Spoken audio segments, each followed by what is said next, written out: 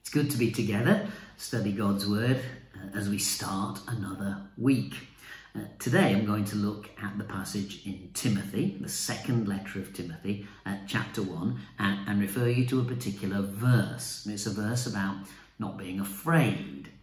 Uh, not just personally being afraid, but of course the Church of Jesus not being afraid, uh, society not being afraid, uh, because there's so much fear uh, at the moment. Fear that if you don't wear a mask, might you pass the disease on to someone, fear that they might have it if they cough anywhere near you. Uh, there's a whole bunch of fears what will happen if I'm uh, visiting an elderly grandparent or see an older person in the street. If they trip up and fall over, should I help them? Or in helping them, will I give them COVID? Oh gosh, there's so many questions in people's minds, a lot of it driven by uh, fear. Um, some of it real, COVID certainly a horrible virus, but some of, it, some of it driven by a massive exaggeration of the nature of risk. But whatever the reason, uh, fear abounds in society at the moment. Over a hundred times in the Bible, we're encouraged not to be afraid. Fear not, do not fear, do not be afraid. Uh, it, it's as if God doesn't want us to live with this burden uh, of anxiety constantly consuming us. And this is particularly true in the passage we're going to look at uh, today. Now, the central verse is this. Please let me read it to you, uh, and then talk a bit about how we get to the verse from the verses beforehand. Paul's letter to Timothy, the second one, chapter 1 and verse 7. For God did not give us a spirit of timidity, but a spirit of power and love and self discipline. What some of the older translations ends with is power and love and a sound mind. Now we'll explore in a minute the relationship between having a sound mind, which is a brilliant idea, uh, and self-discipline. They don't seem the same thing in English, uh, but I'll try and explain why the translations vary um, at that point. Earlier on in this chapter, Paul pays tribute to the quality of man Timothy is because of a really excellent upbringing. He pays tribute to uh, grandma and mum for spirituality, which has clearly invested itself in Timothy's life. The value of strong family life remains as true today as it was in the first century. I have been reminded, Paul says, of the sincere faith which first lived in your grandmother Lois and in your mother Eunice, and I'm persuaded now lives in you also.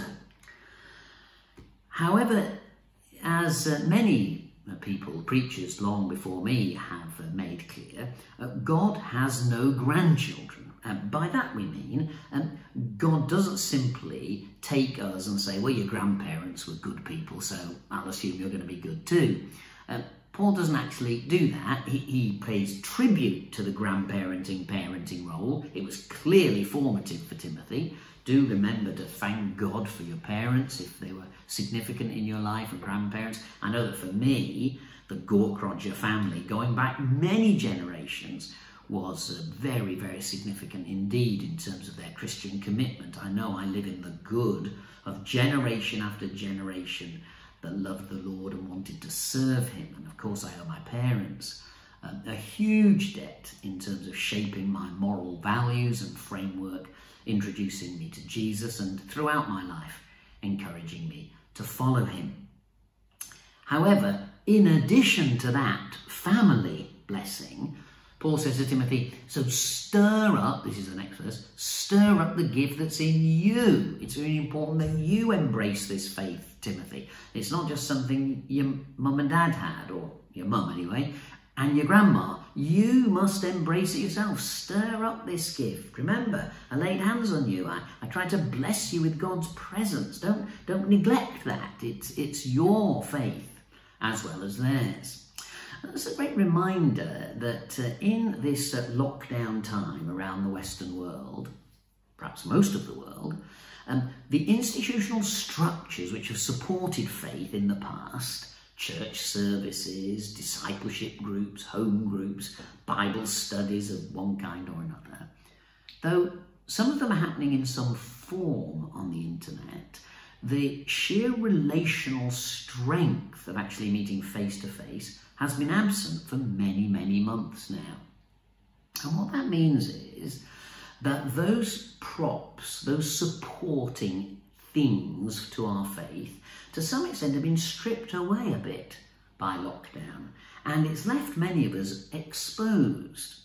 And it's shown, and I've seen this sadly in Christian leaders as well as uh, church members and those who would describe themselves as ordinary Christians, and um, that without those props, those church activity supports, faith becomes a bit wobbly and a bit insecure.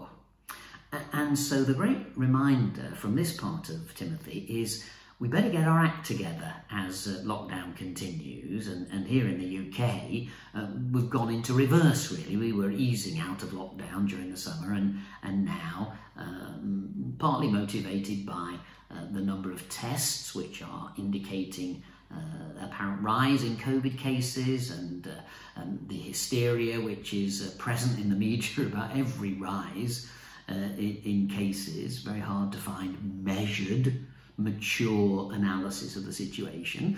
Um, and so we are being pushed back. Uh, some of us feel unnecessarily, others of us feel very necessarily, um, into more lockdown. So the more that happens and the more the institutional props of relationships face to face with others, discipling us, helping us, supporting us are removed, the more it's important that our own faith, our personal faith, is nurtured and strengthened ourselves. Or to use Paul's word to Timothy, stir up the gift that's within you. So, my brothers and sisters, as you watch this, there was a day you gave your life to Jesus Christ. It may have been dramatic as an adult.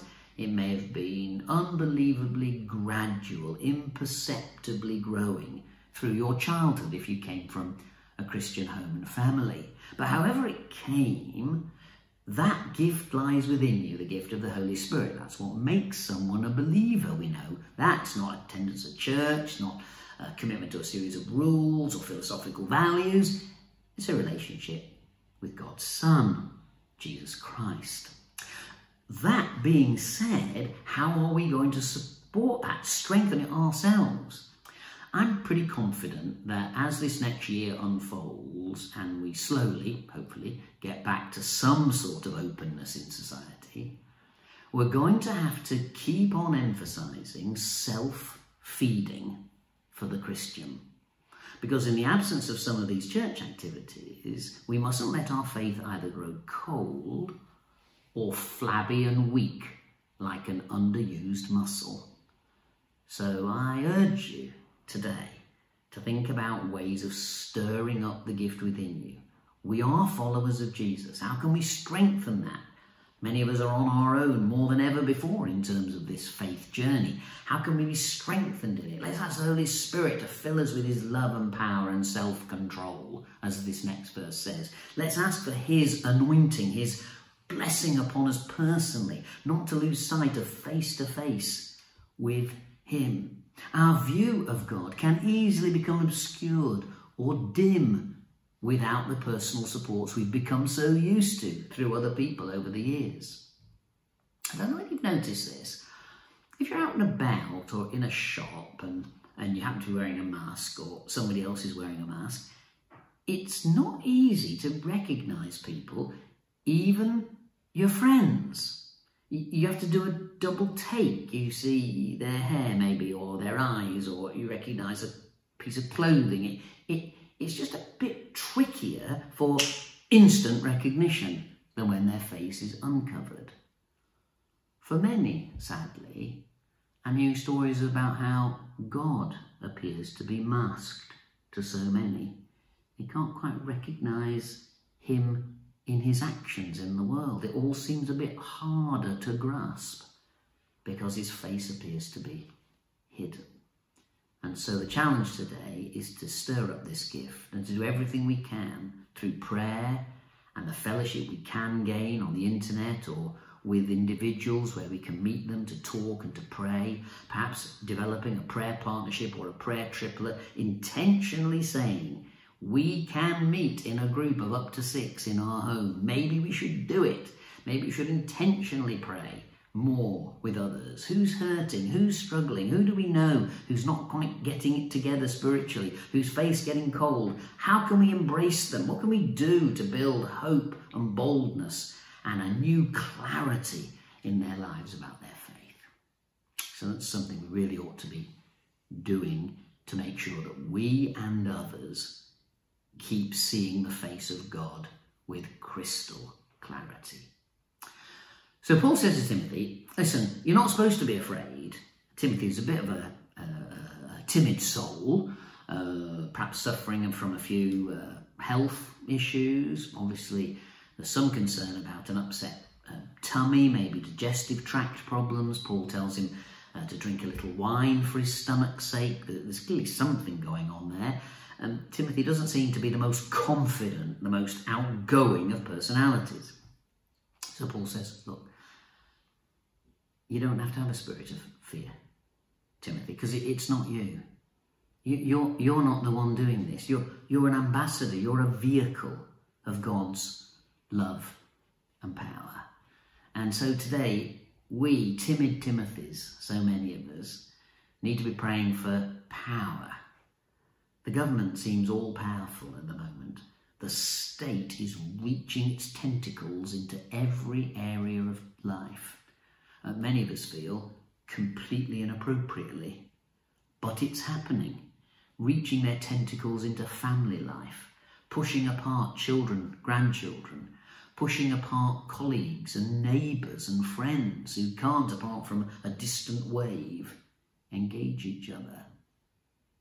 Telling churches how they can meet, whether or not they can sing, answer no. The state appears to be unbelievably powerful. So we have to keep reminding ourselves that the great power of the universe, greater than the power of the state, is ultimately the power of the living God. And that's the power which, deposited in us through the Holy Spirit, lives within us. And we have to realize that through our prayers, that's more powerful than any government diktat, any military army, any political party.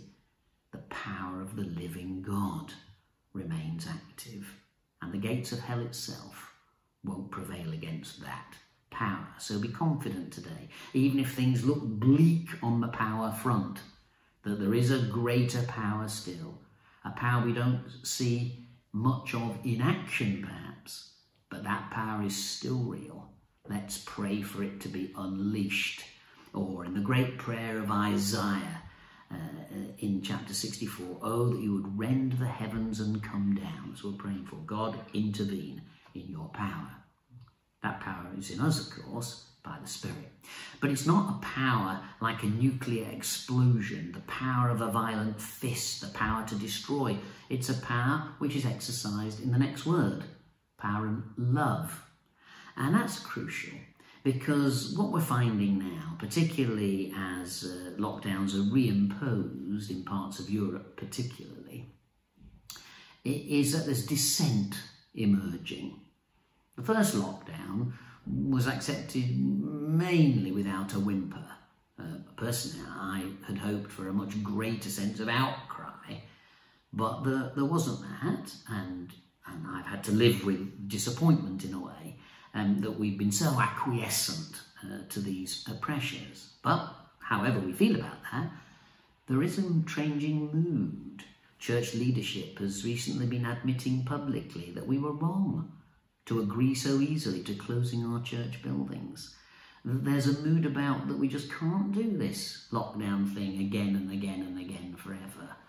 Uh, because there are um, quite clear quite clear downsides to lockdown, which I've mentioned dozens of times in the course of these vlogs. Some official statistics were released this week, actually, which show beyond the shadow of a doubt that more people are dying and will die as a result of lockdown globally and in the Western world and in our own country, the United Kingdom, than are going to die from the coronavirus as things stand. So we have different views on this. One of the newspapers this morning uh, was encouraging the Prime Minister to go further. Lock us down now, take away all our freedoms. Uh, I'm not exaggerating, it's exactly what they were saying. Uh, others are saying it's a step too far, this is crazy, it's ridiculous. And so there's dissent. Now, how will that dissent be felt? It will mean that your neighbours might be in one or two extreme of the two extreme camps. They might want more lockdown and be frightened, and they might be angry at what's been done and therefore want more liberty. So, it's love that covers that. So, although we should and must express the views that we feel on behalf of the poor and the broken and those for whom lockdown is deeply painful, many of us are in comfortable settings protected from the worst of it. So, we must be agitating, however, when we come across people with a different view our job is to be filled with the love of God towards them and to be caring. There is no place for angry bigotry, for uh, aggressive behaviour, for negativity. That's not Christ expressed on earth. So, power, yes, but love is crucial. And then it says you need a sound mind, or some versions self discipline or self control. And that's, you see, because if your mind is turbulent and disturbed with all this news and ideas and what can we do and what can't we do now, and fearfulness about upsetting people, and those are real concerns, we need a mind which is sane and balanced. We do know that there's been an explosion of mental health problems through lockdown. Stresses of variety of kinds, people with genuine mental illness made much worse, and those who normally would not feel some of the heat and burden of mental stress moving into areas in which their anxiety levels are rising exponentially. So, a sound mind. You may need to stay away from the news for a while in order to stay focused on God and His Word and on the good news of His eternal presence. If you're being made to feel anxious by watching the news all the time or reading the papers or looking on the internet for the latest scare story, I urge you to get your mind focused on the things that matter, on God's love for you, on the certainty and unchanging nature of the Word, of love for those in your family and those around you of the fact that almost certainly you've got enough food to eat.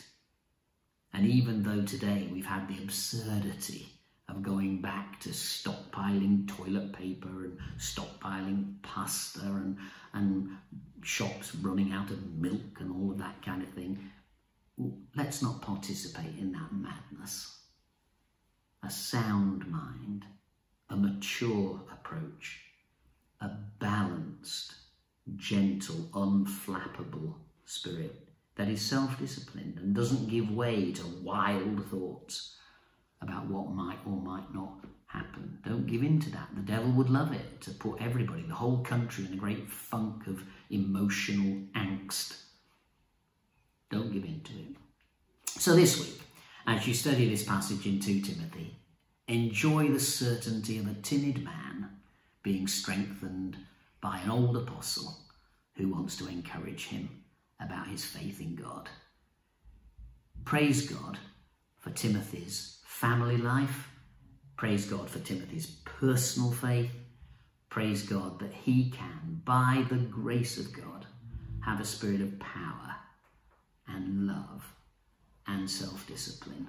May your freedom from fear be strong this week, and may you pass that on in powerful, loving ways to your family and friends, to neighbours, and even to the casual acquaintance you bump into in the shop or the bank or on the street, that society will have thousands of individual Christians living without fear.